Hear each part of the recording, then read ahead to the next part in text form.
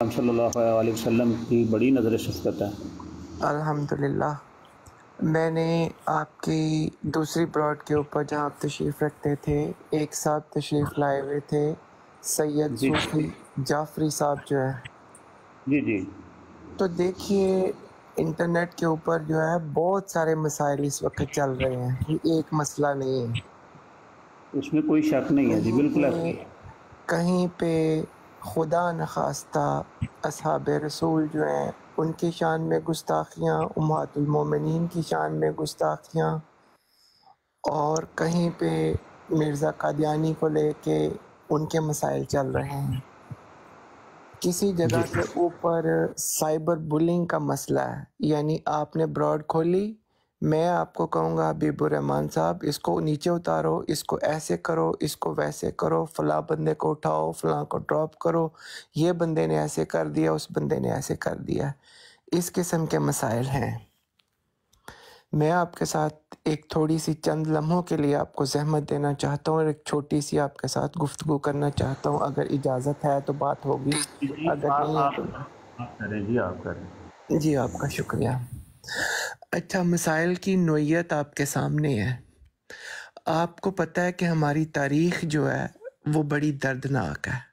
اگر ہم شروع سے لے کے مسلمانوں کی تاریخ کو دیکھیں تو ان باتوں سے قطع نظر دیکھیے، ہمارا مذہب جو ہے، ہمارا دین جو ہے، اسلام آج تک یہاں پہ چلتا آ رہا ہے۔ مختلف مکاتب فکر کے لوگ ہیں۔ ہم سب، کوئی شیعہ ہے، کوئی سنی ہے، کوئی وہابی ہے، کوئی دیوبندی ہے، کوئی بریلوی ہے، کوئی نقش بندی ہے، کوئی قادری ہے، کوئی اپنا اپنا سلسلہ نصب ہے۔ کچھ جو ہے، وہ پیروں کو مانتے ہیں، کچھ نہیں مانتے۔ ہر ایک کے اپنے اپنے اعتقادات ہیں۔ لیکن یہ اے بی آر صاحب ہے میرے خیال میں۔ ہاں جی یہ بھی ہے تو ہم لوگ جو ہیں ہمارے پاس ختم نبوت جو ہے ایک بہت بڑی امبریلا ہے۔ جس کے نیچے زیر سایہ جس کے ہم سب لوگ جو ہیں اکٹھے ہیں خواہ ہمارا مکتبہ فکر شیعہ ہے سنی ہے جو بندی ہے جو بندی ہے بریلوی ہے قادری ہے نقش بندی ہے ہم پیروں کو مانتے ہیں ہم پیروں کو نہیں مانتے ہیں۔ لیکن یہ کہ یہ نبوت کی امبریلا ایک ایسی امبریلا ہے جس کی چھاؤں میں ہم سب لوگ بیٹھ کے تو ان لوگوں کے خلاف ہم لوگ جد و جہد کرتے ہیں جنہوں نے خدا نخواستہ جو ناکام ہے ہماری جو نبوت پہ ڈاکہ ڈالنے میں ناکام رہے ہیں۔ میں ان کو کبھی بھی نہیں کہتا کہ وہ ڈاکہ ڈال چکے ہیں۔ میں کہتا ہوں کہ انہوں نے ناکام کوشش کی ہے۔ اچھا یہ ایک ایسا سلسلہ ہے جس کے نیچے ہم سب اکٹھے ہو کے ہم جوائنٹ ایفرٹ کر سکتے ہیں۔ اب ہوتا یہ ہے کہ ہماری براڈز کے اوپر بہت سارے لوگ آتے ہیں، میں بھی کسی براڈ پہ جاتا ہوں ریگولرلی ٹائم ٹو ٹائم جب بھی مجھے فرصت مل جائے، جب بھی اور ریگولرلی بھی جاتا ہوں، جو جتنا ٹائم دے سکتا ہوں، دیتا ہوں۔ ہم نے اپنی براڈ کے اوپر یہ اصول بنایا ہے کہ جس الفاظ کا ذکر کیا گیا، ہمارے دوست آ کے کہہ رہے تھے کہ سر عام یہ بات کی جاتی ہے اور لوگ منع نہیں کرتے ہیں۔ ہم ابتدائے کلام میں ہی یہ بات کہہ دیتے ہیں کہ کم از کم معیار گفتگو یہ ہے، آپ کو یہ کہنے کی اجازت نہیں ہوگی۔ اور زیادہ ٹائم کے لیے ہمارے بھی ایک دوست جو ہیں براڈ کے اوپر موجود رہتے ہیں، خدا نخواستہ اگر کسی کے منہ سے ایسے لفظ نکلیں تو ہم تو اس کو ریمائنڈر بھی دیتے ہیں اور ساتھ میں جو لفظ دوسری طرف سے سجیشن آ رہی تھی کہ ہم یہ کہیں گے، وہ بھی ادا کیے جاتے ہیں۔ شروع میں یہ بھی ہوا ہے کہ لوگوں نے کہا جی ہم یہ بات ضرور کہنا چاہیں گے، ہم اسے نہیں رک سکتے، ہمیں عادت پڑی ہوئی ہے۔ تو ہم نے کہا کہ ہمیں بھی عادت ہے دوسرے الفاظ کہنے کی۔ اکیلے آپ کو تو عادت نہیں ہے۔ تو یہ اس طرح کی بات ہے کہ ایسا نہیں ہے کہ لوگ کوئی بھی بندہ آ کے براڈ کے اوپر سائبر بلنگ کرے اور جا کے اپنا جو ہے زور زبردستی کرے، یہ ہے سوشل میڈیا کا دور۔ یہاں پہ اگر آپ پابند ہیں تو آپ اخلاقیات کے پابند ہیں، آپ کا دل کرے آپ میری بات سن لیں۔ حبیب صاحب، آپ کا دل کرے آپ میری بات نہ سنیں۔ آپ کو میں نہیں میں جنرل بات کر رہا ہوں کہ میں آپ کو مجبور نہیں کر سکتا۔ یہ آپ کی شفقت ہے کہ آپ نے اپنی براڈ پہ ٹائم دے دیا دو منٹ کے لیے بات سن لی ہے۔ لیکن اگر کوئی بندہ جا کے براڈ کے اوپر سائبر بلنگ کرے گا اس طرح کا انوائرمنٹ کریٹ کرے گا تو میرا نہیں خیال کہ کوئی جو ہے اس کی بات کو سنے گا۔ اب رہی بات یہ کہ ان سے بات کرنا چاہیے کہ نہیں کرنا چاہیے اس میں بھی دو باتیں ہیں۔ کچھ ہمارے دوست اس بات کا کہتے ہیں کہ بات کر لینی چاہیے، کچھ کہتے ہیں بالکل نہیں کرنی چاہیے۔ میں یہ کہتا ہوں کہ دن کو جاننے کے لیے پتہ ہونا چاہیے کہ رات کیسی ہوتی ہے۔ صبح کو جاننے کے لیے پتہ ہونا چاہیے شام کیسی ہوتی ہے۔ تاریکی کو جاننے کے لیے پتہ ہونا چاہیے کہ روشنی کیسی ہوتی ہے روشنی کے اپوزٹ جاننے کے لیے پتہ ہونا چاہیے دن کیسا ہوتا ہے۔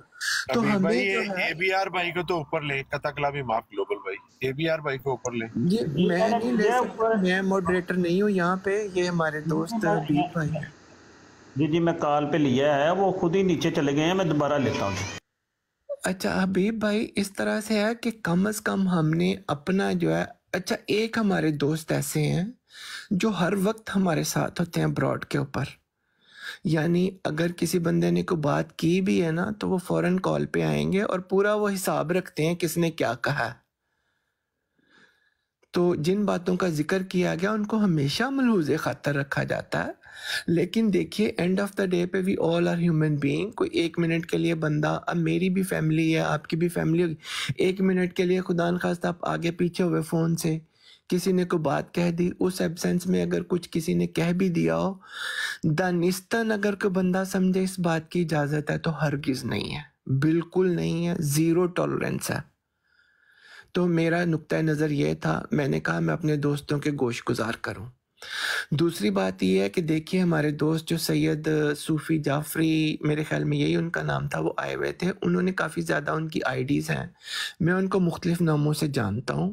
وہ اچھے بندے ہیں۔ ایک براڈ پہ آئے تھے، ایک خاتون ہے وہ براڈ لگاتی رہی ہیں محرم میں۔ مجھے ایسے لگتا ہے ان کی براڈ کی نیچر دیکھ کے کہ شاید وہ شیعہ تھیں۔ یہ دوست وہاں پہ تشریف لے کے گئے ہیں۔ انہوں نے جا کے وہاں پہ شان اہل بیت بیان کی، بہت اچھی بیان کی۔ میں نے پھول بھی پھینکے، ان کی فیور میں بھی بات کی، سب کچھ کیا۔ ویسے بھی میں ان کو مائی سسٹر کی براڈ پہ، دوسری تیسری براڈ پہ ٹائم ٹو ٹائم سنتا ہوں۔ بندے اچھے ہیں، لیکن اب میں نے ان کو دوسری جگہوں پہ بھی دیکھا ہے۔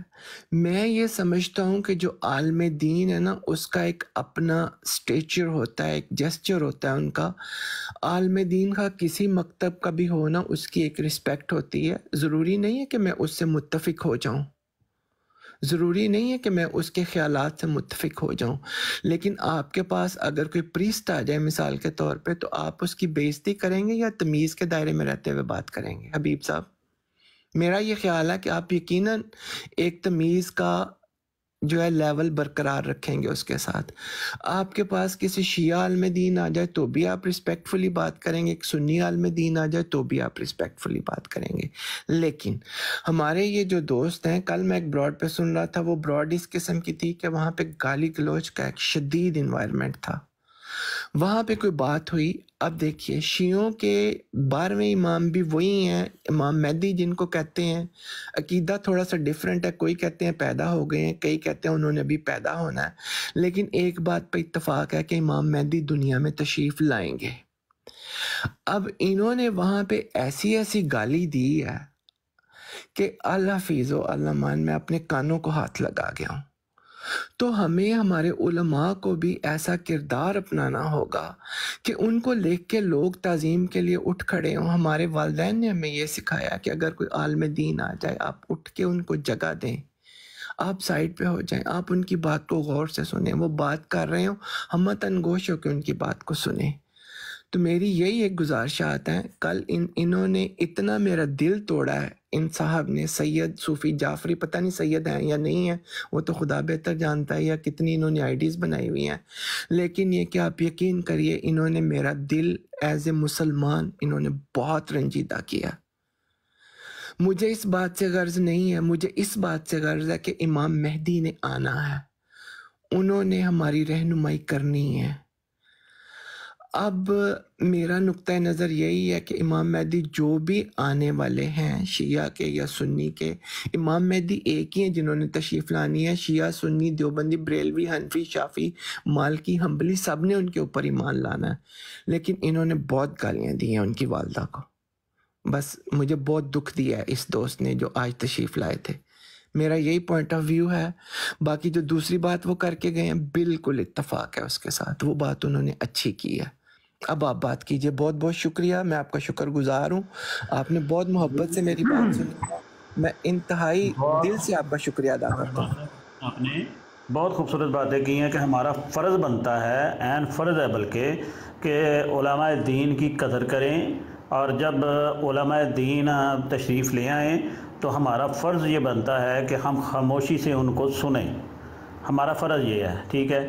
اور باقی جو آپ نے ان کا نام لے کر یہ باتیں کی ہیں، وہ تو میں مناسب ہی نہیں سمجھ رہا تھا کہ بھئی آپ ان کا نام بھی لیں، ٹھیک ہے نا؟ کیونکہ چک زید، بکر ایسا کر لیتے نا، کوئی مسئلہ نہیں تھا۔ ہمارا مقصد یہاں پر صرف اور صرف رد قادیانیت ہے، اور کچھ بھی نہیں، رد مرضیت ہے، اور کچھ بھی نہیں۔ نہ تو ہم کسی کو ٹارگٹ کرتے ہیں نہ کسی بھی مکاتب فکر کے بارے میں ہم بات کرتے ہیں۔ ادھر ہم اپنی برادوں پر۔ ہمارے مفتی سید مبشر رضا قادری دامد برکاتم العالیہ نے ہمیں بات ہی یہ سمجھائی ہے کہ کوئی بھی مکاتب فکر ہے کسی بھی مکاتب فکر کے لوگ آ جائیں، ہم ان کی قدر کریں اور ہم ان کی عزت و احترام کریں۔ کیونکہ وہ ہیں بڑے لوگ مفتیان کرام ہیں یا عالم دین ہیں۔ ہم عالم نہیں ہیں۔ وہ مفتیان کرام ہیں، ٹھیک ہے؟ وہ اگر ہماری برادوں پر تشریف لاتے ہیں تو یہ ہماری خوشبختی ہے، ٹھیک ہے نا؟ وہ عالم ہیں۔ تو ان کے ساتھ جو بات کرے گا، اگر کسی مکاتب فکر کے حوالے سے تو وہ مفتیان کرام کرے گا یا عالم کرے گا، ٹھیک ہے نا؟ تو بات یہ ہے کہ انہوں نے اگر آپ کا دل دکھایا ہے تو یہ بھی ایک، آپ نے چلو اپنی محبت کا اظہار فرما دیا میں ان کو عالم دین ہی سمجھتا رہا، لیکن یہ کہ ہم سیلف سیٹ کہ وہ عالم دین نہیں ہے ہی از عام آدمی لائک می تو اگر کوئی بندہ جا کے اس طرح سے سائبر بولنگ کرے یا اس طرح کی بات کرے، تو میں نے اپنا کنسرن شو کیا اور مجھے نام لینے میں کوئی ڈر نہیں لگتا۔ آئی ڈونٹ کیئر کہ کون کیا ہے، مجھے اس بات سے غرض ہے کہ کیا بات کر رہا ہے۔ صحیح ہے؟ صحیح ہے صحیح ہے۔ آپ صحیح فرما رہے ہیں۔ بات یہ ہے کہ ہمارا، بس میں نے کہا نا کہ ہمارا مشن کچھ اور ہے۔ اور آپ نے جو باتیں کی ہیں، وہ آپ نے بہت خوبصورت باتیں کی ہیں۔ ایسی بات نہیں ہے کہ میں آپ کی کسی بھی بات سے یہ نہیں کر رہا کہ میں کہہ رہا ہوں کہ میں آپ کی بات سے اتفاق نہیں کرتا۔ آپ کی باتیں بہت اچھی ہیں۔ ہاں ہم سخت لہجہ ضرور رکھتے ہیں۔ کفر کے لیے، کافروں کے لیے سخت لہجہ ضرور رکھتے ہیں۔ اور آپ نے جو فرمایا نا، جو الفاظ فرمایا کہ جو وہ آ کر کوئی ایسے الفاظ ادا کریں تو ہم بھی پھر حق رکھتے ہیں کہ مرزا قادیانی کی منجی سے ہی ٹھوکیں۔ ٹھیک ہے نا؟ ہم جب مرزا قادیانی کی پوشل پر پاؤں رکھتے ہیں نا، تو پھر ان کو بھی سمجھ آ جاتی ہے کہ بھائی، یہ مرزا قادیانی کی پوشل پر ہم پاؤں رکھ رہے ہیں۔ تو ان کے لیے ہم بھائی سخت ہے تو کافروں کے لیے ہم ہمیں تو سکھائے یہ گیا ہے کہ کفار کے لیے ہم سخت ہیں۔ تو اللہ تعالیٰ آپ کو جزائے خیر فرمائے۔ جی یوسف بھائی السلام علیکم رحمۃ اللہ۔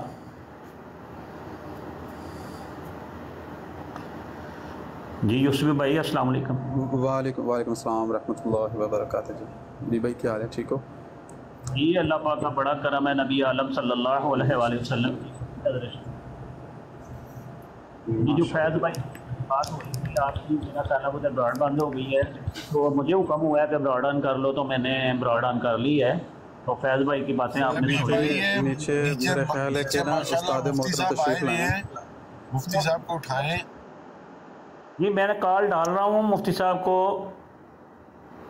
مفتی صاحب اور یہ مجرم بھی آ گیا ہے مجرم بھی آ گیا ہے بادشاہ۔ ہوں گے وہ جب وہ مناسب سمجھیں گے وہ خود ہی آ جائیں گے یہ مجرم بھی آ گیا ہے بادشاہ۔ اس نے ہی صبح اٹھتے ہی ساتھ ہی مجھے یہ بات بتائی ہے یہ بندہ بیٹھا ہوا یہاں پہ۔ اور اس نے ہی مجھ سے یہ سوال پوچھا تھا۔ اسی نے مجھ سے یہ سوال پوچھا تھا کہ مجھے کیوں اتارا گیا اور قادیانی کو کیوں نہیں اتارا گیا؟ یہ آ گیا اس کو پکڑنے کو فرما رہے ہیں نیٹ سلو ہے۔ مفتی صاحب فرما رہے ہیں نیٹ تسلیم نام مفتی صاحب کا نیٹ ٹھیک ہوگا وہ خود تشریف لے آئیں گے۔ جی بادشاہ بھائی۔ کیا حال ہے؟ جی خیریت ہے؟ بڑا کرم ہے نبی عالم صلی اللہ علیہ وسلم کی بڑی نظر شفقت ہے۔ اللہ اللہ ان کی نظر شفقت بنائی رکھے۔ جو شکایت مجھے لگا رہے تھے نا صبح بادشاہ بھائی آپ ابھی گرمان بھائی کو لگاؤ نیچے مفتی مبشر صاحب وہ انہوں نے لگا دی آپ کو بس آپ سن لیں اتنا نہ آپ مسالہ نہ ڈالیں۔ یوسف بھائی یوسف بھائی آپ سے بات نہیں ہوگی بھاجن میں آپ سے کرتے رہیں نہیں رولا جو نا عامر نظیر صاحب نے ڈلوایا تھا۔ تو آگے اس کی چنگاری جو نا وہ وہ بھڑک پڑی ہے سب کے لیے۔ تو یہ عدیل صاحب کو بھی میں نے عدیل کو بھی میں نے کہا تھا یہ براڈ نہیں شروع کرے، تو اس نے جا کے لائک فتوے لگوانے شروع کر دیے، ٹھیک ہے؟ اور اس وجہ سے دشمنان اسلام کو بڑا فائدہ ہوگا۔ اور دیکھنا آپ، بہت جلدی آپ لوگ دیکھو گے۔ یہ جب فتنے شروع ہوئے تھے نا تو میں نے پہلے سب کو کہا تھا اور فیصل بھائی اس بات کی گواہ میں نے شاید کی باہٹ بھی کہا تھا کہ اب یہ یہ جو ہماری جو ساخت بنی ہے نا یہ کمزور پڑے گی اچھا میری ایک ناقص جی ایک بات ہے۔ مفتی صاحب کا بھی حکم ہے کہ آپس میں لڑائی جھگڑے بند کر دو۔ بالکل ختم کر دو۔ کل صاف کر لو اور بات یہ چکر لا کے آؤ۔ ایک منٹ ایک منٹ مفتی حبیب رحمان مفتی صاحب چکر لا کے آؤ۔ اپنا وہ دیل جمیل اپنا بچہ آ گیا ਉੱਥੇ ਜ਼ਰਾ ਚੱਕਰ ਲਾ ਕੇ ਆਓ ਉਹਨੇ ਇੱਕੋ ਟਾਈਮ ਦੇ ਉੱਤੇ ਆਪਣੇ ਨਨੋਤਵੀ ਸਾਹਿਬ ਨੂੰ ਵੀ ਤੇ ਇੱਕੋ ਟਾਈਮ ਦੇ ਉੱਤੇ ਆਪਣੇ ਦਿਲਵੀ ਸਾਹਿਬ ਨੂੰ ਵੀ ਫੜਿਆ ਉੱਥੇ ਕੋ ਬਹਿਸ ਹੋ ਰਹੀ ਹੈ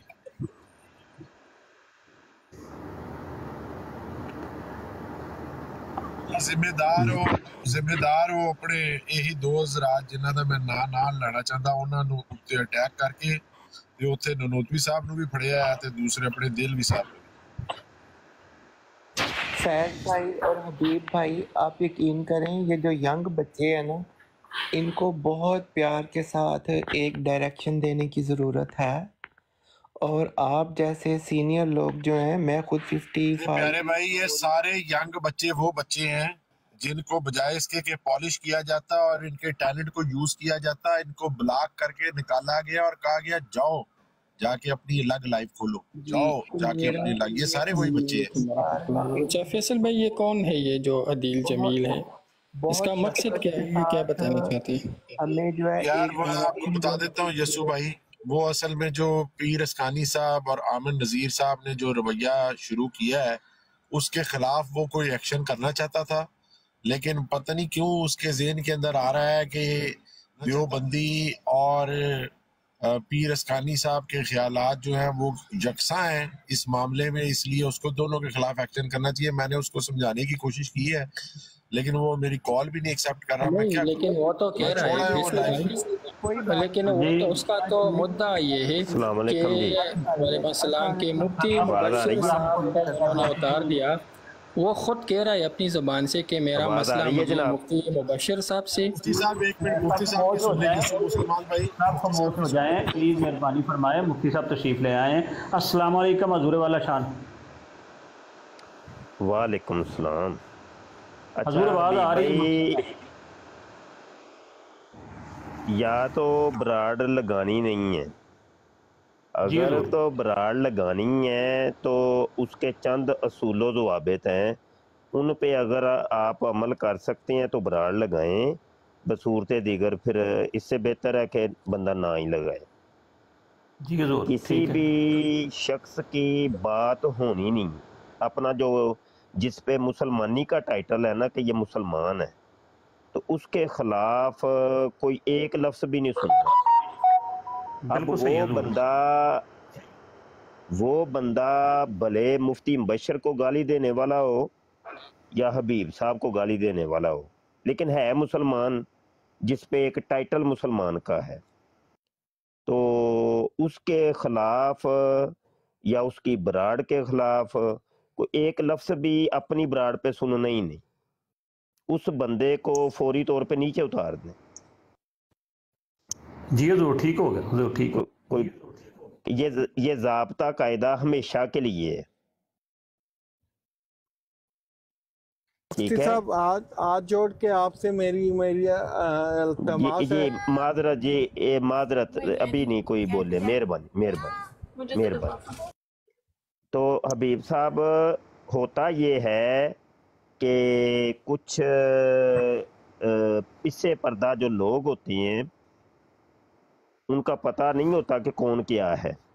وہ خام خواہ کی ہمدردیاں لینے کی کوشش کرتے ہیں، لیکن اس کوشش کے اندر ان کے اغراض و مقاصد ہوتے ہیں کہ دو مسلمانوں کو آپس میں لڑوایا جائے اور جلتی کے اوپر تھوڑا سا تیل پھینکا جائے یا بجتی کے اوپر تھوڑا سا تیل پھینکا جائے تاکہ آگ پھر بڑھ کے۔ تو ان چیزوں کو سمجھا کریں۔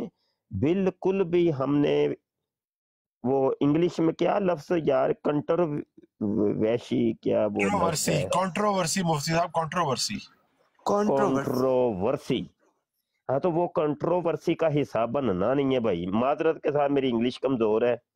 بالکل بھی نہیں ہرگز نہیں۔ میرا نیٹ اتفاقن آج بہت کمزور ہے۔ کچھ موسمی حالات ہیں یا پتہ نہیں اللہ ہی جانتا ہے۔ لائن کا کوئی ایشو ہے تو وہ نیٹ کام نہیں کر رہا صحیح۔ تو حبیب صاحب میں نیچے بیٹھ کے سن رہا ہوں۔ تو میں دیکھتا ہوں کہ آپ کیسے براڈ کو لے کے بڑھتے ہیں آگے۔ میں پھر ایک آجز آجزانہ مشورہ دے رہا ہوں خاص کر کے جو ختم نبوت فورم کی ٹیم ہے جو کہ اپنے آپ کو مفتی مبشر شاہ کے سٹوڈنٹ کہتے ہیں یا طالب علم کہتے ہیں یا مرید کہتے ہیں یا شگرد کہتے ہیں یا جس رنگ کے اندر بھی کہتے ہیں یا ساتھی کہتے ہیں دوست کہتے ہیں۔ تو بھائی ہماری طرف سے قطع نہیں اجازت نہیں ہے۔ آپ نیچے نہ جائیے آپ رک جائیے شاید درمیان میں آپ کی ہیلپ چاہیے ہوگی گفتگو کے دوران۔ پلیز آپ رک جائیں۔ جی جی کوئی نہیں گلوبل بھائی یہ ہمارے ساتھی ہیں ہمارے سٹوڈنٹ ہی ہیں حبیب صاحب اور ہماری ختم ختم نبوت فورم کی جو ٹیم ہے اس کے رکن ہیں۔ اور یہ یہ یہ جی جی السلام علیکم۔ ایک منٹ ایک منٹ چودھری صاحب ایک منٹ میوٹ پہ رکھیں پلیز شاہ جی میری میری آپ سے التماس ہے اور آپ سے ایک سوال اگر اجازت فرمائیں تو۔ جی ہر ایک کو اجازت ہے، آپ بالکل بول سکتے ہیں، لیکن ہمارے جو آپسی معاملات ہیں اس کا سوال جو کرے گا نا، وہ خود اپنی شخصیت کو مجروع کرے گا، ہمارے نزدیک اس کی شخصیت مجروع ہوگی اور شکوک اور شبات پیدا ہوں گے۔ کہ آخر یہ بندہ کیوں اس معاملے کے اندر حصہ دار مولوی صاحب بدترین نسل تسی دنیا تے حدیث یار چپ کرو اینو لاؤ یار۔ جی اینو چپ کرا یار۔ نہیں نہیں لانا چپ کرا۔ ہو لا نہیں نہیں اوے لانا نہیں۔ قادیانی قادیانی ہے اس کو اٹھا لیتے ہیں۔ حبیب صاحب حبیب صاحب لانا نہیں ہے۔ ایسے لوگوں کی ہم ایک چھوٹا سا ریکویسٹ ہے۔ اور سارے بیچ میں بول رہے ہیں تو اب بندہ کیا کرے؟ ایک چھوٹی سی ریکویسٹ ہے۔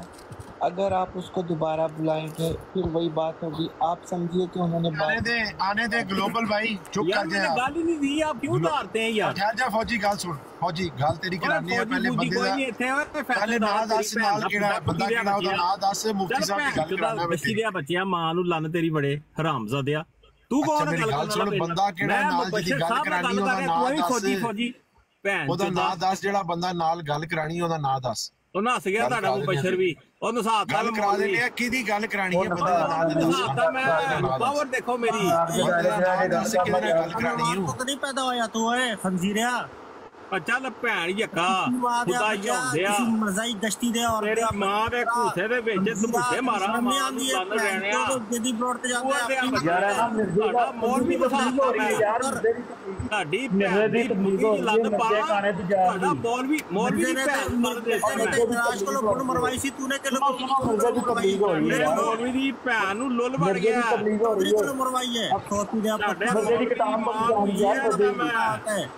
ਕੋਈ ਗੱਲ ਨਹੀਂ ਮਿਰਜ਼ੇ ਕਿਤਾਬ ਪੜੀ ਜਾ ਰਹੀ ਹੈ। ਗਸ਼ਤੀ ਪੜ ਪੜ ਮਿਰਜ਼ੇ ਦੀ ਕਿਤਾਬ ਵੀ ਯਵਾਤਾ ਜੇ। ਹੋਰ ਮੈਂ ਪੜ ਮਿਰਜ਼ੇ ਮਿਰਜ਼ੇ ਕਾਣੇ ਦਜਾਲ ਦੀ ਕਿਤਾਬ ਪੜ ਓਏ। ਮਿਰਜ਼ੇ ਕਾਣੇ ਦਜਾਲ ਦੀ ਕਿਤਾਬ ਪੜ ਓਏ ਟੱਟੀ ਚ ਮਰਿਆ ਸੀ ਉਸੇ ਦੀ ਕਿਤਾਬ ਪੜਾਂਗਾ ਤੇਰੀ ਮਾਂ ਨੂੰ ਗੁੱਸਾ ਸਾਹਮਣੇ ਬਿਠਾ ਮਿਰਜ਼ੇ ਦਾ ਬੜਾ ਦਾ ਚੱਟਾ ਮੁਰਜ਼ਾ ਪੜੋ ਦਾ 85 ਮੁਰਜ਼ਾ 85 ਖਾਨ ਨੰਬਰ 85 ਪੜ ਓਏ ਮਿਰਜ਼ੇ ਦੀ ਕਿਤਾਬ ਪੜ ਬੱਚਿਓ ਭੈਣ ਤੁਹਾਡਾ ਇਸਲਾਮ ਨਾਲ ਕੀ ਤਲਕ ਤੁਸੀਂ ਭੈਣ ਜੀ ਕੋ ਗਾਲਾਂ ਖਾਇਆ ਕਰੋ ਤੁਹਾਡੀ ਭੈਣ ਦੀ ਕੁਛ ਤਬਲੀਗ ਹੋ ਰਹੀ ਤਬਲੀਗ ਹੋ ਰਹੀ ਤਬਲੀਗ ਹੋ ਹੋ ਰਹੀ ਮਿਰਜ਼ੇ ਦੀ ਕਿਤਾਬ ਦੀ ਤਬਲੀਗ ਹੋ ਰਹੀ ਹੈ ਜੀ ਮਾਂ ਦੀ ਕੁੱਤੀ ਵੱਜ ਰਹੀ ਹੈ ਵਾਹ ਜੀ ਵਾਹ ਗਸ਼ਤੀ ਦਿਓ ਮਿਰਜ਼ੇ ਦੀ ਬੱਚਿਓ ਤਬਲੀਗ ਕੁੱਤੀ ਦਿਓ ਮਿਰਜ਼ੇ ਦੀ ਮਿਰਜ਼ੇ ਕਾਣੇ ਸਾਹਿਬ ਦਜਾਲ ਦੀ ਸਾਹਿਬ ਤਬਲੀਗ ਹੋ ਰਹੀ ਹੈ ਦੀਪ ਸਾਹਿਬ ਦੀਪ ਸਾਹਿਬ ਖਾਮੋਸ਼ ਹੋ ਗਏ ਅਗਲੀ ਜਿੰਦ ਪੜੀ ਯਾਰ ਉਹਨਾਂ ਦੀ ਉਹ ਮਿਰਜ਼ੇ ਦੀ ਅਗਲੀ ਜਿੰਦ ਪੜੀ ਯਾਰ ਉਹਦੇ ਨਾਲ ਇਲਮ ਹਾਸਲ ਕਰ ਲੈ ਉਹ ਗੱਲ ਤੇ ਸੁਣ ਤੇਰੇ ਨਾਲ ਮੁਰੱਬੀ ਬੈਠਾ ਹੈ ਇਲਮ ਹਾਸਲ ਕਰ ਲੈ ਉਹਦੇ ਕੋਲ ਸੁਣਨ ਦੇ ਹਾਂਜੀ ਮੁਰੱਬੀ ਸਾਹਿਬ ਸੁਣੇ ਜਨਾਬ ਰੋਹਾਨੀ ਖਜ਼ਾਨੇ ਜਲਦ 18 سوا نمبر دو سو سولہ کتاب کا نام ایک غلطی کا ضالہ آپ کے پیر و مرشد لکھتے ہیں کہ مجھے خدا نے شرف بخشا ہے کہ میں اسرائیلی بھی ہوں اور فاطمی بھی ہوں۔ اور دونوں خونوں سے حصہ رکھتا ہوں۔ یہ مجھے سر بتا دیں اسرائیلی کس طرح ہے؟ مرزا صاحب ذرا اس کے بارے میں کو بتا دیں گے؟ کون سا خون ہے جو مرزا صاحب کے اچھا، فرما رہے ہیں؟ تیرے نال بیٹھے ہیں نا جن دن گل کرانی تھی۔ کون میں پوچھے پوچھیا۔ کیدی گل کرانی سی جڑا پچھے بول رہا سی تیرے نال دوسرا کون سی؟ جن نے کہا مفتی صاحب نے میری گل کراؤ۔ کون ہے وہ بندہ؟ کیڑا گل کرنا چاہتا ہے؟ بہن یہ کہا تیری وجہ تک ضروری کام کر رہ گیا میرا۔ ਤੂੰ ਗਾਲਾਂ ਤੋਂ ਇਲਾਵਾ ਹੋਰ ਕੁਝ ਨਹੀਂ ਕਰ ਸਕਦਾ ਉਹ ਬੰਦੇ ਨੂੰ ਸਾਹਮਣੇ ਲਿਆ ਨਾਲ ਜਿਹੜਾ ਪਿੱਛੇ ਬੋਲਦਾ ਪਿਆ ਸੀ ਕਰਨੀ ਸੀ ਓਏ ਹੰਜੀਰ ਮਰਗਾਈ ਹਾਂ ਜਰਾ ਸੋਹਣੇ ਦੱਸੋ ਜਨਾਬ ਮਰੱਬੀ ਸਾਹਿਬ ਬੜਾ ਤੁਹਾਨੂੰ ਸ਼ੌਕ ਸੀ ਇਹ ਜਵਾਬ ਦਿਓ ਮਿਰਜ਼ਾ ਸਾਹਿਬ ਕਹਿ ਰਹੇ ਨੇ ਮੈਂ ਇਸرائیਲੀ ਵੀ ਹੂੰ ਫਾਤਮੀ ਵੀ ਹੂੰ ਦੋਨੋਂ ਖੂਨੋਂ ਸੇ ਹਿੱਸਾ ਰੱਖਤਾ ਹੂੰ ਇਹ ਮੈਨੂੰ ਦੱਸੋ ਫਾਤਮੀ ਖੂਨ ਕਾਦੀਆਂ ਜੀ ਕਿਸ ਤਰ੍ਹਾਂ ਪਹੁੰਚਿਆ ਹੈ ਤੇ ਇਸرائیਲੀ ਖੂਨ ਕਿਸ ਤਰ੍ਹਾਂ ਪਹੁੰਚਿਆ ਤੇਰੇ ਫੈਸਲੇ ਦਾ ਵੀ ਭੈਣ ਨਾ ਮੈਂ ਉੱਥੇ ਗਾਲ ਕੱਢੀ ਸੀ ਨਾ ਮੈਂ ਇੱਥੇ ਗਾਲ ਕੱਢ ਰਹੀ ਹਾਂ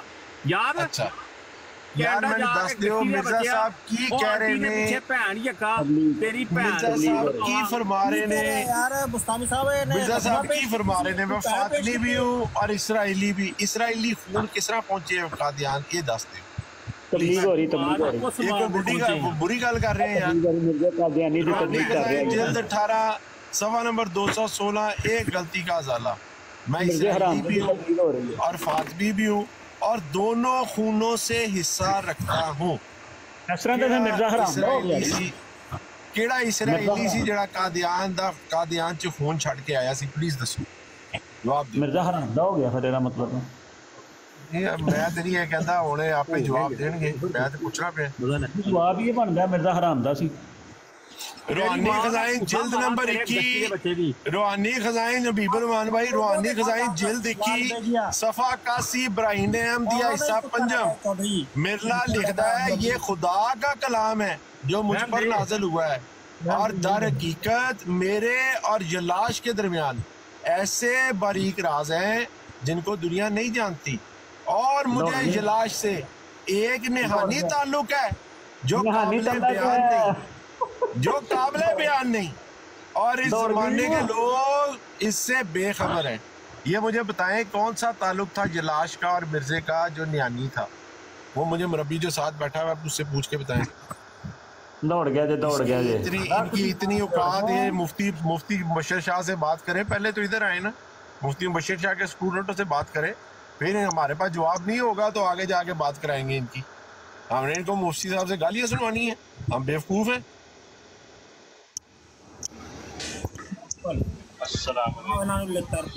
ਭੈਣ ਚੋ ਕੁੱਤੇ ਦਾ ਪੁੱਤਰ ਨਾ ਤੇ ਜਿਹੜਾ ਵੀ ਕੁੱਤੇ ਦਾ ਪੁੱਤਰ ਆ ਕੇ ਬਕਬਕ ਕਰੇਗਾ ਉਹਨੂੰ ਭੈਣ ਚੋ ਦਾ ਹੀ ਟ੍ਰੀਟ ਕੀਤਾ ਜਾਏਗਾ। ਨਹੀਂ ਉਹ ਠੀਕ ਠੀਕ ਕੀਤਾ ਹੈ। ਉਹਦਾ ਉਹ ਵੇਖੋ ਨਾ ਜੀ ਉਹ ਕਰ ਰਿਹਾ ਸੀ ਤਬਲੀਗ ਕਰ ਰਿਹਾ ਸੀ ਮਿਰਜ਼ੇ ਦੀ। ਔਰ ਉਹਨੇ ਠੀਕ ਕੀਤੀ ਤਬਲੀਗ ਕਿਉਂਕਿ ਮਿਰਜ਼ਾ ਗਾਲਾਂ ਕੱਢਦਾ ਰਿਹਾ ਵੇ। ਔਰ ਮਿਰਜ਼ੇ ਦੀ ਕਿਤਾਬਾਂ ਦੀ ਗਾਲਾਂ ਨੇ ਅਸੀਂ ਤਾਂ ਨਹੀਂ ਕੋਈ ਗਾਲ ਕੱਢੀ। ਉਹ ਮਿਰਜ਼ੇ ਦੀ ਤਬਲੀਗ ਕਰਕੇ ਗਿਆ ਹੈ ਤੇ ਅੱਗੋਂ ਉਹਨੂੰ ਹਵਾਲਾ ਮਿਲ ਗਿਆ। ਹੁਣ ਇਹ ਸਾਬਤ ਕਰਦਾ ਹੈ ਕਿ ਵੀ ਉਹਦੇ ਵਿੱਚ ਇਸਰਾਈਲ ਖੂਨ ਜਿਹੜਾ ਹੈ, ਉਹ ਕਿਸ ਤਰ੍ਹਾਂ ਦਾ ਦਾਖਲ ਹੋਇਆ ਸੀ? ਮਸਲਾ ਤੇ ਹੈ ਇਹ ਕਾਦੀਆਨੀ ਸੀ ਔਰ ਇਹ ਅਕਸਰ ਆਪਣੇ ਨਾਲ ਜੋ ਨਾ ਇਹਦੇ ਕੋ ਮੁਰੱਬੀ ਬਹਿ ਜਾਵੇ ਕੋਈ ਪੜਿਆ ਲਿਖਿਆ ਬਹਿ ਜਾਵੇ ਨਾ ਜੇ ਸਮਝਦਾ ਹੋਵੇ ਕਿ ਬੜਾ ਕੋ ਕਾਦੀਆਨੀ ਹੈ ਪੜਿਆ ਲਿਖਿਆ ਹੈ, ਉਹਨੂੰ ਫਟਾਫਟ ਮਾਈਕ ਤੇ ਚਾੜ ਕੇ ਨਾ ਪਿੱਛੇ ਬਹਿ ਜਾਂਦਾ। ਹੈ।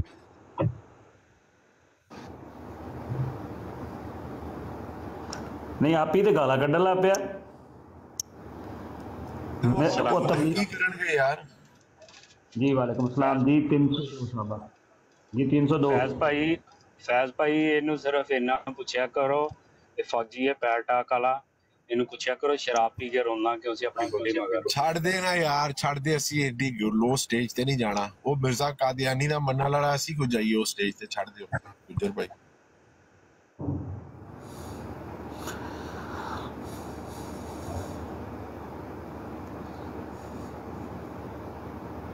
جی یوسف بھائی حبیب بھائی ਇਹਨਾਂ ਤੇ ਲਗਾਓ ਹਵਾਲਾ ਮਿਰਜ਼ੇ ਦੀ ਕਿਤਾਬ ਦਾ ਹਵਾਲਾ ਰਜੂਈਅਤ ਵਾਲਾ ਦੇ ਸਾਹਮਣੇ ਹੀ ਲਿਖਣ ਲਿਪੀ ਚ ارسلان گجر السلام علیکم حبیب بھائی یوسف جی جی یوسف بھائی کیا حال ہے ٹھیک ہو خریت ہے جی اللہ کا شکر تسی سناؤ سب خریت ہے جی الحمدللہ اللہ پاک دا بڑا کرم ہے نبی عالم صلی اللہ علیہ وسلم دی بڑی نظر شفقت ہے صلی اللہ علیہ وسلم ماشاء اللہ میں تھوڑی بس گل بات سن رہا میں کچھ بھی نہیں آخنا جی گل بات ہے تسا سونی لئیے دیکھو نا ایک قادیانی آیا انہوں بجائے اس دے کہ تہذیب دے رنگ گل کرے اور کیونکہ انہوں نے سکھی نہیں نا اصل چ انہوں دی کتاب ہے ہی گند تے مرزے نے لکھی ہی گند ہے تے اسی تے وہ دی تبلیغ ہوئی سنی ہے مرزے قادیانی دی وہ منہ قادیانی دے منہ چ صرف اور صرف یہ کوئی تبلیغ ہوندی ہے گالاں یہ گالاں کٹ دے نے ਬਿਲਕੁਲ ਇਸ ਤਰ੍ਹਾਂ। ਉਹਨਾਂ ਨੂੰ ਇਹ ਵੇ ਕਿ ਕੋਈ ਜਵਾਬ ਨਾ ਨਾ ਆਵੇ ਤੇ ਗੰਦੀਆਂ ਗਾਲਾਂ ਕੱਢ ਕੇ ਤੇ ਨਾ ਹੱਸੋ ਉਹੀ ਕੰਮ ਹੋਇਆ। ਗੰਦੀਆਂ ਗਾਲਾਂ ਕੱਢਣੀਆਂ। ਲੱਖ ਦੀ ਲਾਨਤ ਬੇਸ਼ੁਮਾਰ ਲਗਾਤਾਰ ਤੇਜ਼ ਰਫ਼ਤਾਰ ਮਿਰਜ਼ਾ ਕਾਦੀਆਨੀ ਤੇਰੇ ਤੇ ਤੇ ਤੇਰੇ ਮੰਨਣ ਵਾਲਿਆ ਤੇ। ਬਿਲਕੁਲ ਇੰਜੀ ਕੱਲ ਵੀ ਸੈਦ ਮੁਬਸ਼ਰ ਹੁਸੈਨ ਕਾਦਰੀ ਨਾਲ ਗੱਲ ਹੋ ਰਹੀ ਸੀ। ਇਹ ਜਿਹੜਾ ਕੀ ਨਾ ਤਲਤ ਉਹ ਵੀ ਬਹੁਤ ਗਾਲੀਆਂ ਕੱਢਦਾ ਰਿਹਾ। ਬਹੁਤ ਪਾਗਲ ਦਾ ਪੁੱਤਰ ਹੈ। ਉਹ ਪਾਗਲ ਹੋ ਗਿਆ ਉਹ ਉਹ ਸਾਰਾ ਪੂਰਾ ਹੀ ਕਬਰ 'ਚ ਸਿਰਫ ਮੂੰਹ ਬਾਹਰ ਰਹਿ ਗਿਆ ਉਹਦਾ। ਉਹ ਪੂਰਾ ਦਾ ਪੂਰਾ ਹੀ ਕਬਰ 'ਚ ਤਲਤ। ਤੇ ਸਿਰਫ ਮੂੰਹ ਬਾਹਰ ਹੈ। ਉਹਦਾ ਉਹ ਮੂੰਹ ਵੀ ਠੁੱਕ ਜਾਣਾ। ਤੇ ਉਹ ਪਾਗਲ ਹੋ ਗਿਆ ਯਕੀਨ ਕਰੋ ਮੈਚ ਲਾਏ ਹੁੰਦੇ ਸੀ ਬੱਚੀਆਂ ਨਾਲ। ਹਾਂਜੀ ਹਾਂਜੀ ਉਹ ਮੈਚ ਲਾਂਦਾ ਦਲਾਲ ਹੈ ਬੜਾ ਵੱਡਾ ਉਹ ਵੀ। ਦਲਾਲ ਹੈ। ਕਾਦੀਆਨੀਆਂ ਦਾ ਦਲਾਲ ਹੈ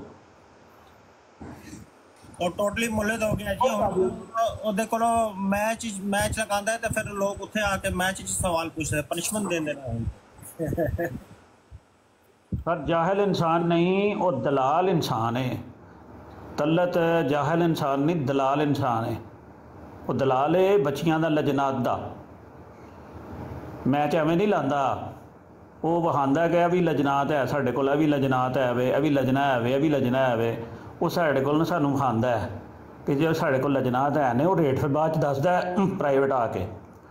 اچھا چلے ان کو چھوڑے پرے یار ان کی شخصیت پرستی پہ کیا بات کرنی ہے ہم جمع ہوئے ہیں یہاں پہ مرزے کو ایکسپوز کرنے کے لیے اچھا یار اکثر دوست سوال پوچھتے ہیں کہ مرزا صاحب پریگنٹ کیسے ہوئے مرزا صاحب پریگنٹ کیسے ہوئے مرزا صاحب پریگنٹ کیسے ہوئے ان کے لیے میں نے ویڈیو بنائی تھی ان کے لیے میں نے ویڈیو بنائی تھی کچھ عرصہ پہلے، لیکن وہ پھر بھی دوست پوچھتے ہیں، تو میں نے کہا چلو پڑھ کے دوبارہ سنا دیتا ہوں۔ اگر اس کا، ویسے تو یہ مرزا صاحب نے یہ چیز کئی جگہوں پر لکھی ہوئی ہے، لیکن اگر آپ کھولیں کشتی نو، جو کہ آپ کو ملے گی روحانی خزائن کی جلد انیس میں، وہاں پر صفحہ نمبر اڑتالیس سے اگر آپ پڑھنا شروع کریں، اور باون تک، تو وہاں پہ یہ اس کا سارا بیان مرزا صاحب نے لکھا ہوا ہے۔ اسکین پیجز کسی کو چاہیے، تو میری پروفائل سے جا کے ڈاؤن لوڈ کر سکتا ہے۔ میں اس کو تھوڑا سا آپ کو پڑھ کے سناتا ہوں۔ ذرا ہنسی اپنی کنٹرول کیجیے گا اور ذرا دل تھام کے بیٹھیے گا۔ ہنسی کے دورے کافی آئیں گے اس میں۔ فرماتے ہیں اور کتنا بڑا جھوٹ بولتے ہوئے آغاز کرتے ہیں کہ سورہ تحریم میں اشارہ کیا گیا ہے کہ بعض افراد امت کے مریم صدیقہ سے مشابت رکھیں گے۔ جس نے پارسائی اختیار کی، تب اس کے رحم میں عیسیٰ کی روح پھونکی گئی اور عیسیٰ اسی سے پیدا ہوا۔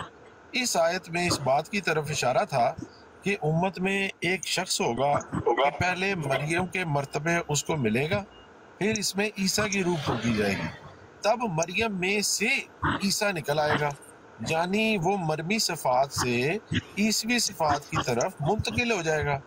گویا مریم ہونے کی صفت نے عیسیٰ ہونے کا بچہ دیا۔ اس طرح وہ اپنے مریم کہلائے گا۔ جیسا کہ برائن احمدیہ میں میرا نام مریم رکھا گیا ہے اور اس کی طرف اشارہ ہے۔ دیکھو الہام صفحہ دو سو اکتالیس اور وہ یہ ہے کہ اے مریم، تو نے یہ نعمت کہاں سے پائی؟ اور اس کی طرف اشارہ ہے صفحہ دو سو چھبیس میں یعنی کہ اے مریم کھجور کے تنے کو ہلا۔ اور اس کے بعد صفحہ چار سو چھیانوے برائن احمدیہ میں یہ الہام ہے کہ اے مریم، تو اپنے دوستوں کے ساتھ بہشت میں داخل ہو جا۔ تجھے میں نے اپنے پاس سے صدق کی روح پھونک دی ہے۔ خدا نے اس آیت میں میرا نام روح القدس رکھا ہے۔ استغفر اللہ یہ اس آیت کے مقابلے پہ ہے جو گویا استخارے کے رنگ میں مریم کے پیٹ میں عیسیٰ کی روح جا پڑی، جس کا نام روح صدق ہے۔ پھر سب کے آخر صفحہ چار، پانچ سو چھپن برائن عبدیہ میں وہ عیسیٰ جو مریم کے پیٹ میں تھا اس کے پیدا ہونے کے بارے میں یہ الہام ہے کہ اس جگہ پر میرا نام عیسیٰ رکھا گیا ہے۔ الہام نے ظاہر کیا کہ وہ عیسیٰ پیدا ہو گیا ہے جس کی روح کا نفع کی روح چار سو چھیانوے میں ظاہر کیا گیا تھا۔ پس اس لحاظ سے میں عیسیٰ ابن مریم کہلایا۔ لو جی ثابت کرتا ہوں نے آگے سنیں۔ کیونکہ میری اس بھی حیثیت مریمی حیثیت سے خدا کے نفق سے پیدا ہوئی ہے دیکھو جا کر صفحہ چار سو چھیانوے اور صفحہ پانچ سو بانوے ابراہیم دیا۔ اس واقعے کو سورہ تحریم میں بطور پیش کوئی کمال تصریح سے بیان کیا گیا ہے۔ عیسیٰ ابن مریم اس امت میں اس طرح پیدا ہوگا کہ پہلے کوئی فرد اس امت کا مریم بنایا جائے گا، پھر اس کے بعد اس مریم میں عیسیٰ کی روح پھونکی جائے گی۔ پس وہ مریمیت کے رحم میں ایک مدت تک پرورش پا کر عیسیٰ کی روحانیت میں تولد پائے گا۔ اس طرح وہ عیسیٰ ابن مریم کہلائے گا۔ یہ خبر محمدی ابن مریم کے بارے میں جو ہے، قرآن شریف میں سورہ تحریم میں اس زمانے سے تیرہ سو سال پہلے بیان کی گئی ہے۔ اور پھر برائن احمدیہ میں سورہ تحریم کی ان آیات کی خدا نے تفسیر فرمائی ہے۔ دو باتیں نہ کر۔ دو باتیں نہ کر۔ بابا محمد آصف سپراگ بات کر رہا ہوں میں۔ کیا ہے جی میں بند کر دیتا ہوں جناب آپ کر لیں بات۔ ایک منٹ بولو جی۔ یہ گلا کرنا کریے دسو۔ حبیب پیارے یہ بول رہا ہے کہ عیسیٰ ایسے ہوا عیسیٰ ایسے ہوا۔ وہ حوالہ پڑھ رہے ہیں نہیں ہے۔ حوالہ پڑھ رہے ہیں۔ چلو ٹھیک ہے پڑھنے دو۔ جو مرنے میں لکھا ہے نا وہ حوالہ پڑھ رہے ہیں۔ حوالہ پڑھنا پڑتا ہے جو اس نے بدبختی کی ہے اس خنزیر نے وہ پڑھنا پڑتا ہے۔ فیضی میرا دوست ہے یار فیضی۔ ایسا پڑھو۔ پڑھ رہا تھا۔ پڑھو آپ۔ شاید ان کو برا لگا گستاخی لگی ہے میں نے روک دیا بیب رمان بھائی۔ میں تو نقل کفر کفرنا باشی دستغفر اللہ پتہ نہیں کیا کیا کہہ کے پڑھ رہا ہوں۔ نہیں نہیں آپ پڑھو آپ پڑھو حوالہ پڑھ رہے ہو۔ آپ مرزا قادیانی دجال کا۔ بتا رہا تھا کہ مرزا مریم بن کے کس طرح اس نے اپنے آپ کو جنب دیا اور کس طرح وہ اپنے آپ کو ابن مریم ٹھہراتا ہے۔ اگر پلیز کوئی دوست صبر کر کے سن لیں تو شاید آپ کو سمجھ آ جائے میرے دوستوں۔ اچھا فرماتے ہیں مرزا صاحب آگے کہ قرآن موجود ہے، ایک طرف قرآن کو رکھو اور دوسری طرف برائن احمدیہ کو۔ استغفر اللہ استغفر اللہ قرآن کے برابر برائن احمدیہ لے آئے پھر انصاف، عقل اور تقوی سے سوچو کہ جو پیش گوئی سورہ تحریم میں تھی کہ اس عمر میں کوئی فرد مریم کے لائے گا اور پھر مریم سے عیسیٰ بنایا جائے گا۔ گویا وہ اسی میں سے پیدا ہوگا۔ کس رنگ میں برائن احمدیہ کے علامات سے پوری ہوئی ہے؟ کیا یہ میرے اختیار میں تھا؟ کیا میں اس وقت موجود تھا جب قرآن شریف نازل ہو رہا تھا؟ میں عرض کرتا کہ مجھے ابن منگانے کے لیے کوئی آیت اتار دی جائے اور اس اعتراض سے مجھے سبق دوش کیا جائے کہ کیوں تمہیں ابن ابن, ابن مریم کہا جائے؟ کیا آج سے بائیس برس پہلے میری طرف سے کوئی منصوبہ ہو سکتا تھا؟ کہ میں اپنی طرف سے الہام بنا کر پہلے اپنا نام مریم رکھتا اور پھر آگے جال کر افطرا کے طور پہ الہام بناتا کہ پہلے زمانے کی مریم کی طرح مجھ میں بھی عیسیٰ کی روح پھونکی گئی ہے اور پھر برائن احمدیہ میں لکھ دیتا کہ اب میں مریم سے عیسیٰ بن گیا۔ اے عزیزو، غور کرو، خدا سے ڈرو، یہ انسان کا فعل نہیں اور بریک اور دقیق حکمتیں انسان کی فہم اور قیاس سے بالا تر ہیں۔ برائن احمدیہ کی تعلیف کے وقت ایک زمانہ گزر گیا ہے۔ اگر مجھے اس منصوبے کا خیال ہوتا تو میں کیوں لکھتا کہ عیسیٰ ابن مریم اسمان سے دوبارہ آئے گا؟ چونکہ خدا جانتا تھا کہ اس نقطے پر علم ہونے سے یہ دلیل ضعیف ہو جائے گی۔ اس لیے اس نے برائن احمدیہ کے تیسرے حصے میں میرا نام مریم رکھا۔ پھر برائن احمدیہ سے ظاہر ہے، دو برس سے صفت مریم میں میں نے پرورش پائی اور پردے میں نشو نما پاتا رہا۔ اور جب دو برس گزر گئے تو برائن احمدیہ میں جس طرح درج ہے کہ مریم کی طرح عیسیٰ کی روح مجھ میں نحف کی گئی۔ استغفر اللہ نقل کفر کفر نباشر اور استعارے کے رنگ میں مجھے حاملہ ٹھہرایا گیا۔ اور آخر کئی مہینے کے بعد جو دس مہینے سے زیادہ نہیں ویسے دس مہینے کا حمل انسان کا نہیں ہوتا کھوتی کا ہوتا ہے۔ دس مہینے کے حمل کے بعد جو کہ دس مہینے سے زیادہ نہیں، بذریعہ الہام جو سب سے آخر برائن احمدیہ میں درج ہے، مجھے مریم سے عیسیٰ بنا دیا گیا۔ پس اس طور سے میں ابن مریم ٹھہرا۔ اور خدا نے برائن احمدیہ کے وقت مجھے خبر نہ دی، حالانکہ وہ خدا کی وحی پر مشتمل تھی، جو میرے پر نازل ہو رہی تھی اور برائن احمدیہ میں درج ہوئی، مگر مجھے ان کے معنی اور ترتیب پر اطلاع نہ دی گئی۔ اس واسطے سے میں نے مسلمانوں کا رسمی عقیدہ برائن احمدیہ میں لکھ دیا۔ میری سادگی اور ادب بناوٹ پر گواہ جو شخص مخالفوں کے لیے قابل اصلاح نہیں، کیونکہ مجھے خود بخود غیب کا دعویٰ نہیں، جب تک کہ یہ لاش مجھے سمجھا نہ دے۔ یہ آگے بھی کافی اور بکواس ہے۔ اس کو بھی تھوڑا سا سن لیں تاکہ آپ کو بات سمری سمجھ میں آ جائے۔ وقت آ گیا، وہ اسرار مجھے سمجھا دیے گئے۔ تب میں نے معلوم کیا کہ میرے اس دعوی مسیح مود ہونے میں کوئی نئی بات نہیں۔ یہ تو وہی بات ہے جو میں برائن احمدیہ میں لکھ چکا ہوں۔ اس جگہ ایک اور علام کا بھی ذکر کرتا ہوں۔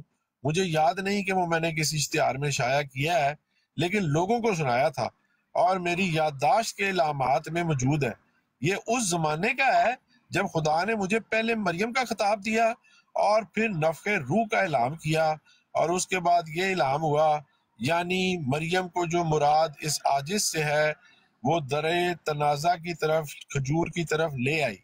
یعنی کہ عوام الناس اور جاہل اور بے سمجھ علماء سے واسطہ پڑا ہے، جن کے پاس ایمان کا پھل ہے اور جنہوں نے تکفیر و توہین کی گالیاں دیں اور ایک طوفان برپا کیا۔ تب مریم نے کہا کہ کاش میں اس سے پہلے مر جاتی اور میرا نام و نشان بھی باقی نہ رہتا۔ یہ اس شور کی طرف اشارہ ہے جو ابتدا میں مولویوں کی طرف سے مجموعی طور پر پڑا اور وہ اس دعوے کو برداشت نہ کر سکے اور مجھے ہر ہیلے سے انہوں نے فنا کرنا چاہا، تب اس وقت جو کرب اور کلک نہ سمجھو کا شورخہ دیکھ کر میرے دل پہ گزرا، اس کی جگہ خدا نے نقشہ کھینچ دیا ہے۔ اچھا اور آخر میں جا کے کہتے ہیں کہ یاد رہے کہ اللہ نے، خدا نے ان تومتوں سے اپنے بندے کو بری کرے گا ہم اس کو ان لوگوں کے لیے ایک نشان بنا دیں گے۔ اور یہ بات ابتدا سے ہی مقدر تھی اور ایسا ہی ہونا تھا کہ یہی عیسیٰ ابن مریم ہے جس کے بارے میں لوگ شوق کر رہے ہیں اور یہی قول حق ہے۔ ہاں جی جناب، جس طرح لوگوں کو نے ناجائز پیدائش کا انسان قرار دیا، اسی کی نسبت اللہ فرماتا ہے کہ ہم اس کو اپنا نشان بنائیں گے۔ اور یہی عیسیٰ ہے جس کا انتظار تھا اور الہبی عبارتوں میں مریم اور عیسیٰ سے مراد میں ہی ہوں۔ میری نسبت کہا گیا کہ ہم اس کو نشان بنائیں گے اور یہ کہا گیا کہ عیسیٰ ابن مریم جو آنے والا تھا، اس میں جو لوگ شک کرتے ہیں، یہی حق ہے اور آنے والا ہے اور بے شک محض نا فہمی سے خدا کے اسرار کو نہیں سمجھتے۔ بیان ختم۔ ہاں جی کو آپ کو سمجھ آئی ہے مرزا کس طرح مریم سے مسیح بنا ہے اور کس طرح اپنے آپ کو اس نے جنم دیا ہے کوئی اس کے اچھا، بارے میں فیض بھائی آپ نا یہ عرفان جٹ صاحب سے شروع کریں اور باری باری سارے ریمارکس لیں۔ سفیر کنگ صاحب بھی موجود ہیں یہ راجپوت صاحب بھی آئے ہیں تو میں ذرا مرزا اس سے ہو کے آیا ہوں ٹھیک ہے؟ ضرور آپ مرزا صاحب کی توازوں کا کوئی انتظام کر کے آئیں۔ جی میرے پیارے بھائی عرفان جٹ بھائی ہیں، انہوں نے فرمایا آپ سے شروع کریں۔ یہ عجیب و غریب کلام آپ نے سنا۔ یہ آپ کو کسی انسان کا لگتا ہے اور اس کے اندر کوئی تک، کوئی لاجک کوئی چیز سمجھ آئی میں عرفان بھائی؟ جی، وعلیکم السلام عرفان بات کر رہا ہوں سر جرمنی سے۔ میرے پیارے بھائی کیا کہیں گے؟ کیا کہیں گے میرے بھائی؟ یہ جو تحریر میں نے پڑھی اس کے بارے میں۔ بھائی میں نا کافی دفعہ پہلے بھی سن چکا ہوں یہ ساری یہ فضولیات بکواسیات یہ مرزیوں قادیانیوں کی۔ یہ بہت غلیظ ترین لوگ ہیں۔ میں ان کے ساتھ ادھر جرمنی میں ہوتا ہوں۔ مطلب مجھے ان کی اصلیت کا بہت اچھی طرح سے پتہ ہے۔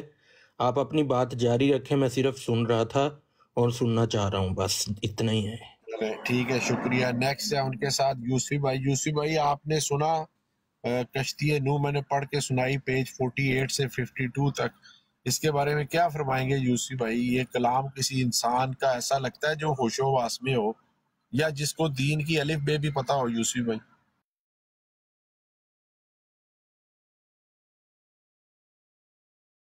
او فیصل ڈار بھائی، تسی کنہ دیاں گلاں کردے پئے ہو؟ مرزیاں دیاں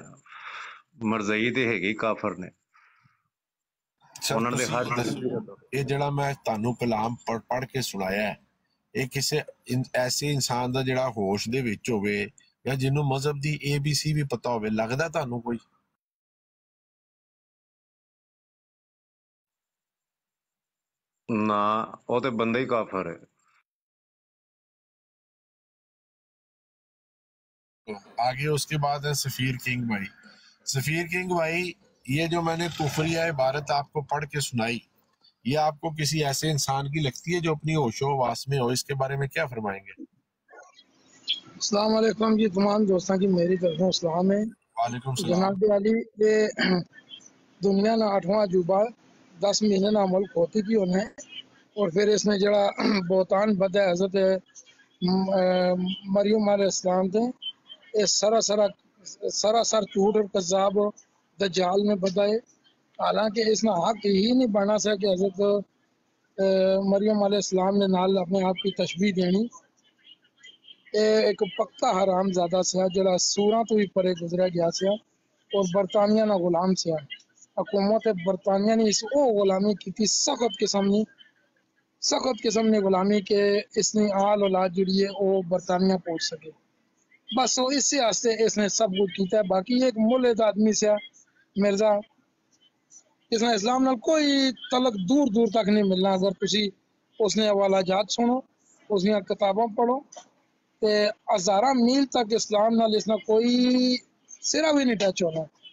اس نے کتاباں تو ظاہر ہونا۔ بالکل، وہ آنا کہ بسم اللہ الرحمن الرحیم اللہ واتی رسول قرآن نہیں آئے تھے وہ آنا کہ اولی الامر، وہ آنا کہ رسول علی آج جو تھا گیا آنا کہ اولی الامر۔ کہ جس نے اساں کی ظالمہ کو لو بچایا مسلمانہ کی ظالم قرار دیتا، کہ اطاعت کرو انہاں نہیں کہ جس نے جناب اساں کی ظالمہ کو لو بچایا۔ وہ کون سے برطانیہ والے سے اے اسنا جڑا سیدھے باب سارا۔ جی گل کرو ہوں تسی۔ جی بہت شکریہ آپ کی انپٹ کا۔ جی تھانہ اسلام بھائی۔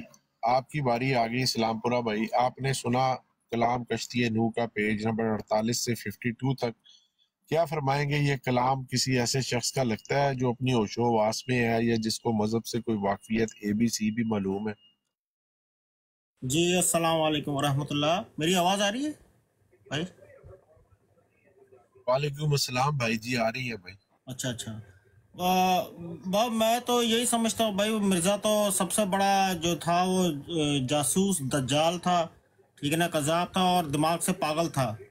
تو کیونکہ جب اس نے جب یہ قذابیت کا کام شروع کیا لکھنا ویسے جو آپ نے جو پیج پڑھے مجھے اس کی تھوڑی بہت سمجھ آئی ہے مجھے کیونکہ میں یار تھوڑا ادھر ادھر تھا۔ لیکن جس طرح سے جو ہے وہ اس نے آپ کو؟ ہنسی آئی ہے کہ نہیں آئی؟ یہ بتائیں۔ کیا کہہ سکتے ہیں؟ مرزا مرزا تو پھر مرزا ترک کا مرزائیوں کا جیسے مرزائی ہیں ایسے ہی جو ہے انہوں نے اپنا سربراہ چنا۔ تو پاگل پوگل جو ہے بندے جو ہے وہ اٹھ کے جو ہے وہ پھر ایسے طرح کے کام کریں گے تو پھر جو ہے نا فرشتے اللہ سبحانہ و تعالیٰ حکم دیتا ہے فرشتوں کو پھر جو بناتے ہیں۔ سر گل یہ کہ اے واجب قتل نے اے جتھے تانوں نظر آن انہاں نو مار دیو۔ انتشار نہ پھیلاؤ تہاڈی مہربانی یہ تھے انتشار نہ پھیلاؤ اے ساڈے مفتیان کرام نے اجازت نہیں دیتی ہے کہ تسی ایتھے بہ کے جو ہے نا قتل دا فتوی دو تے تسی مفتی ہو جی الحمدللہ میں مفتی بھی نہیں میں کچھ بھی نہیں میں صرف ایک پاکستانی مسلمان ہاں ہاں جی پاکستانی مسلمان تو ہو مگر اتھے اگر تجھے تسی اس قسم دے کام کرو گے تے پھر نہ تے ساڈے علماء نے اجازت دیتی ہے ٹھیک ہے تے حق ہے کہ قانون دے مطابق انہوں جو ہے نا جب کافر قرار دے دیتا گیا ہے تے عوام دا کوئی فرض نہیں بندا کہ تسی جا کے جو ہے انہوں قتل کرنا شروع کر دو ٹھیک ہے سر جی تے بات کی تھانہ اسلام پوری بھائی بالکل صحیح بات کی آپ نے جی تو بات یہی ہے وہ جو جیسے ہم سمجھا رہے ہیں جیسے ہمارے مسکران بھائی کی بھی انپوٹ لے لیں سفیر بھائی ذرا حسین بھائی کی بھی انپوٹ لے لیں۔ حسین بھائی آپ نے سنا یہ کلام روح کا چار پیجز میں نے پڑھے۔ آپ کو یہ کلام کسی ایسے آدمی کا لگتا ہے جو اپنی ہوش و واس میں ہو یا جس کو مذہب کی الف بے بھی معلوم ہو۔ کیا فرمائیں گے حسین بھائی؟ جی السلام علیکم فیض بھائی۔ فیض بھائی پتہ کیا ہے؟ یہ جس طرح ہوتا نا چرس اور بنگ پی کے بیٹھا ہو۔ اور کبھی کچھ بول دیا کبھی کچھ بول دیا۔ جہاں پر آپ نے اس کو دیکھا کہ جب اس نے تابع داری کرنی ہوتی تھی تو وہ اس طرف چلا جاتا تھا۔ جب اس کو آگے سے کچھ نظر آتا تھا ڈانٹ ڈپٹ تو وہ دوسری طرف چلا جاتا تھا۔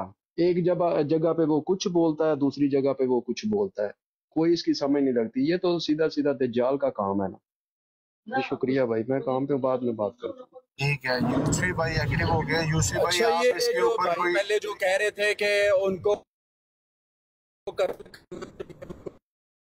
صاحب میں ان کا نام نہیں دیکھ سکا اگر آپ صرف اتنا مجھے نشاندہی فرما دیں آپ کا میں مشکور ہوں گا۔ کون صاحب تھے جو کہہ رہے تھے کہ یہ زندگی کا ان کو قتل کر دینا چاہیے اور سر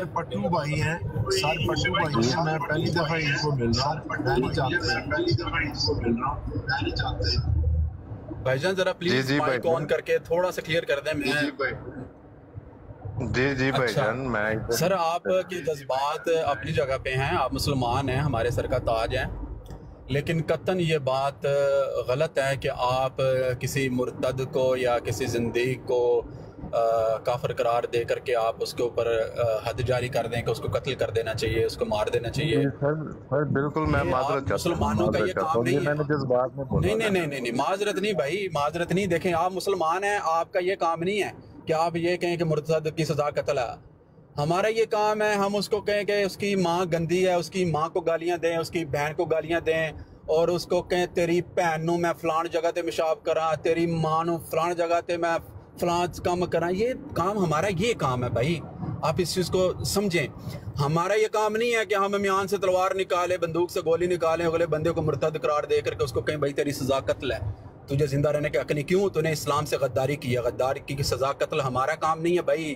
ہمیں اللہ نے زبان دی ہے، ہمیں چاہیے ہم ان کو گالیاں دیں۔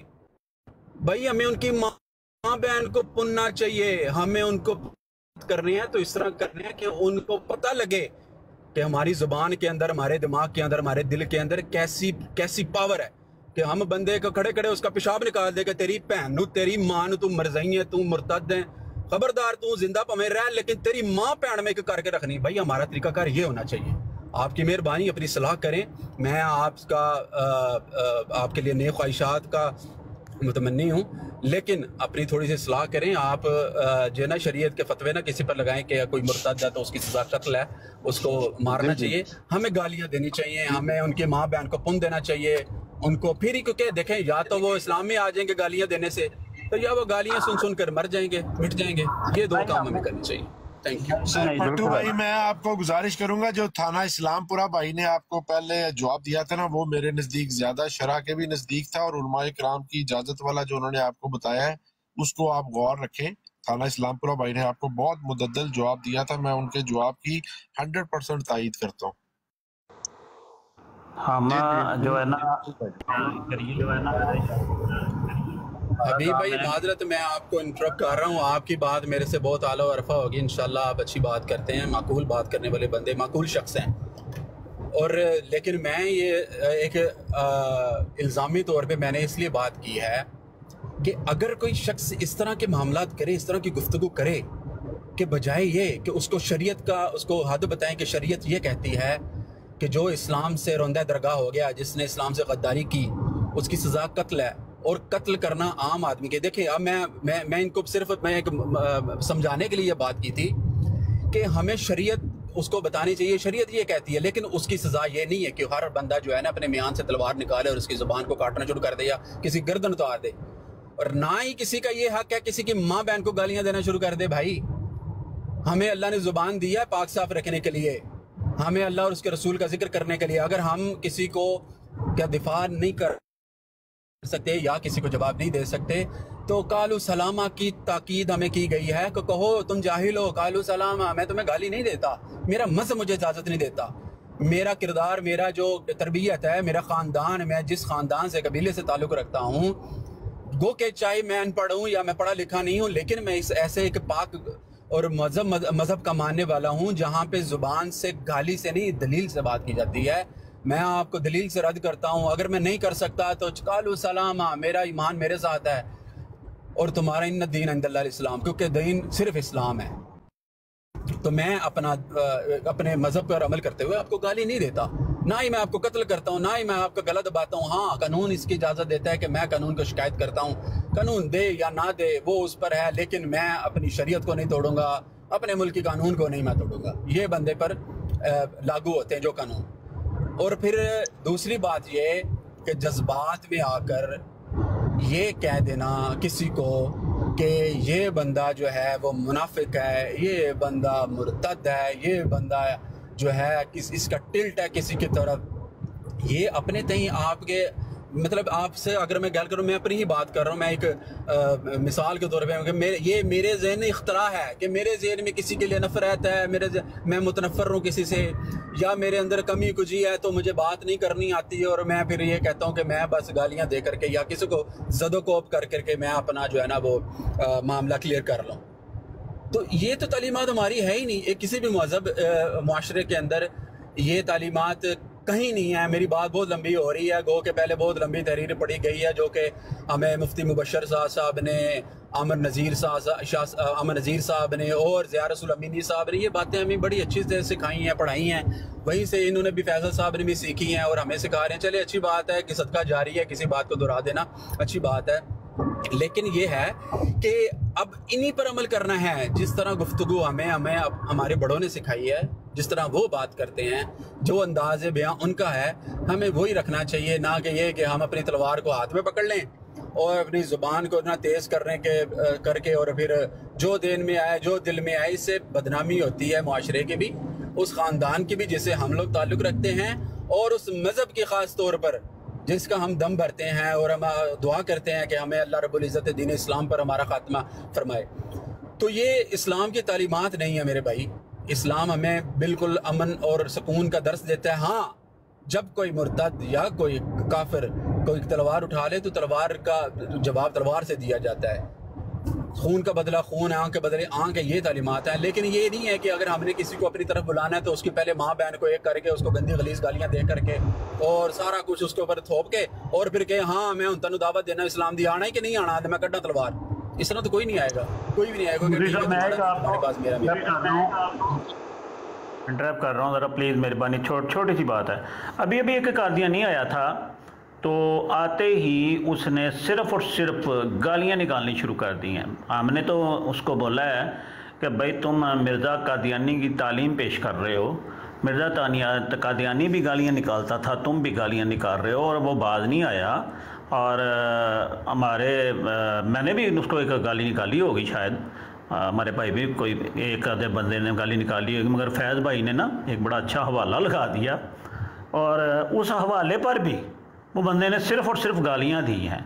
اب اس کا علاج کیا ہے؟ مجھے یہ بتایا جائے کہ جب ایک بندہ دے میں نے اس کو اتارا میں چھوٹا سا چھوٹا سا ایک واقعہ آپ کو بتاتا ہوں۔ یوسف بھائی پہلے بات سن لیں۔ مفتی صاحب سمجھ گیا میں نے اتارا اس کو۔ میں نے اس کو اتار دیا ہے۔ مفتی صاحب نے پھر کہا ہے کہ اتارا کیوں ہے؟ میں نے پھر اس کو دوبارہ لے لیا ہے کال پر نا؟ تو یہ ہوا ہے۔ تو اس کے بارے میں آپ کچھ فرمائے جناب۔ میں میں وہی کہہ رہا ہوں کہ مفتی صاحب کا جو طریقہ ہے نا، میں، مجھے اتنا پہلے پہلے واللہ میں بھی اختلاف کرتا تھا، لیکن مجھے ان کا طریقہ اس لیے اچھا لگا۔ بارہا، ایک دو دفعہ ایسا تھا، ہم لوگوں نے بندے کو اتارا تو انہوں نے کہا کہ بھائی، اس کو کیوں اتارتے ہو؟ یہ اپنے مذہب کی تعلیمات بتا رہا ہے، اس کو کرنے دو۔ لوگ دیکھیں کہ یہ مذہب کتنا غلیظ اور گندہ ہے۔ میں ایک چھوٹی سی مثال آپ کو دیتا ہوں کہ ہمارے وہاں پاکستان میں میں تھا۔ تو ہمارے جو خطیب ہیں نا مسجد میں جو جمعہ پڑھاتے ہیں، شاہ صاحب ہیں، تو مطلب میں بڑا زبردست واقعہ اگر آپ سنیں گے نا، تو آپ کو پتہ لگے گا کہ ہمارے اسلاف ہمیں کیا سکھاتے ہیں۔ تو مسجد کے اندر اثر کا ٹائم تھا، نماز پڑھنے کے لیے ہم ان کے ساتھ آ رہے تھے، کچھ اور بھی ہم لڑکے تھے، تو وہ بزرگ آگے کے چل رہے تھے، تو کوئی بات کر رہے تھے کسی دوست سے، تو وہاں سے دیکھا۔ اچھا انہوں نے دیکھا کہ، او یار بند کر دے۔ میری آواز آ رہی؟ ہے